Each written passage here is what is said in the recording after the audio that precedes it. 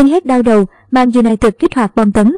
Manchester United đang cân nhắc chiêu mộ ngôi sao Casemiro của Real Madrid khi vụ chuyển nhượng tiền vệ Adrian Rabiot của Juventus đang trên bờ vực sụp đổ. Theo The Athletic, Rabiot là một trong những mục tiêu hàng tiền vệ của Man United khi câu lạc bộ đang gặp vấn đề trong việc ký hợp đồng với siêu tiền vệ Frenkie de Jong của Barcelona.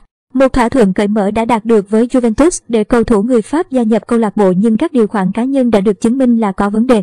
Rebiot đang đòi mức lương mà quỹ đỏ cảm thấy là quá cao và cầu thủ này phải dè dặt khi gia nhập một câu lạc bộ không chơi ở Champions League. Man United dường như đã chuẩn bị để biến Rebiot trở thành một trong những người có thu nhập cao nhất bên cạnh những người như Bruno Fernandes và Christian Eriksen. Tuy nhiên, mẹ của Rebiot, bà Veronique, và cũng là người đại diện cho anh, đã yêu cầu một mức lương đắt đỏ hơn cho cầu thủ người Pháp.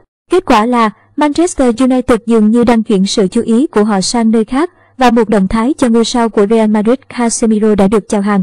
Đội vô địch Premier League 13 lần vẫn tự tin, bổ sung một tiền vệ ưu tú cho đội của họ trước khi thị trường chuyển nhượng đóng cửa vào ngày 31 tháng 8. Casemiro chắc chắn phù hợp với mua vì anh ấy đã giành được 5 chức vô địch Champions League và 3 danh hiệu La Liga trong xuyên suốt sự nghiệp của mình. Sự xuất hiện của Aurelien Tchouameni tại Real Madrid đã khiến vị trí của Casemiro trong đội hình của Carlo Ancelotti gặp rủi ro cao. Động thái tiềm năng của cầu thủ người Brazil sẽ rất quan trọng đối với đội bóng của Erik ten Hag, người đã có cho mình khởi đầu mùa giải một cách tồi tệ.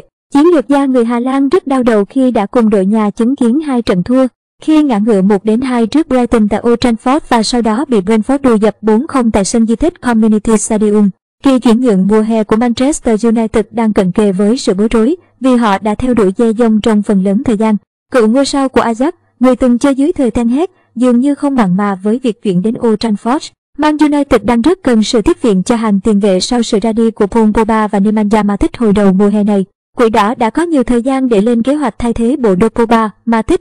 Rất nhiều tiền vệ sáng giá đã được Eric Ten Hag liên hệ nhưng có vẻ việc không được tham dự Champions League là nguyên do khiến các ngôi sao quay mặt với Mu. Và bộ đôi tiền vệ bị chỉ trích như là Scott McTominay và Fred vẫn là lựa chọn số 1 dành cho Ten Hag. Chỉ còn 15 ngày nữa trong kỳ chuyển nhượng mùa hè, chỉ có Ericsson Lisandro Martinez và Tyrell Malacia là mới đến đội bóng thành Manchester cho đến nay. Ronaldo và một nhóm cầu thủ nông quốc của Mu đã lên tiếng yêu cầu ban lãnh đạo câu lạc bộ tăng cường nhiều gương mặt mới để tốt hơn cho lối chơi. Ngày 22 tháng 8, họ tiếp đối thủ lớn Liverpool vừa có hai trận hòa.